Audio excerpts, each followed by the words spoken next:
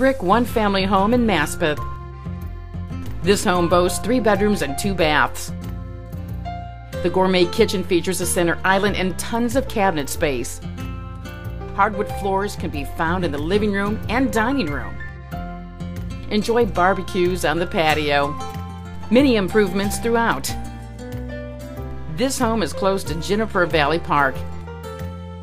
For a private tour, give John Keane a call.